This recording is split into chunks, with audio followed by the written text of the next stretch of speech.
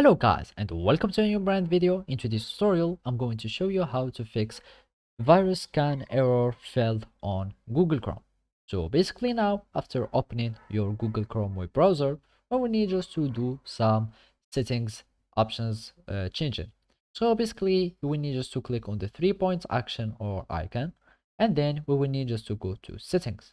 After clicking on the settings, we will find all these settings on this menu and basically the first one or the main setting that we want is to have a cleanup on our uh, system or our web browser.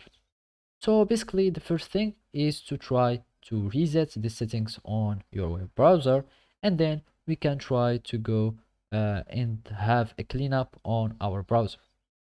And then you can try to do some uh, other settings like go to uh, the own privacy and security and check if there is any bad breaches or any other harmful uh, files so you can solve this problem.